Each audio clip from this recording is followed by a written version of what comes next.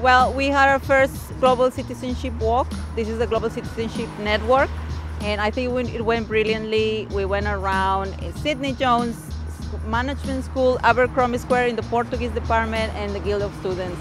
And I think it has been a success. Just a few people, but really intimate, really good conversation. So I want to invite everyone to join.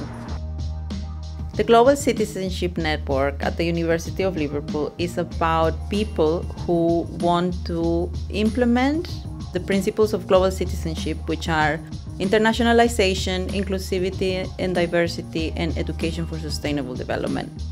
It's not only about implementing, we're looking for best practice across the university. We want to create a community of practice of agents of change who really want to make a difference in the curriculum and how things are done at the university. Please join our Global Citizenship Network if you would also like to be inspired by its vision of a fairer education.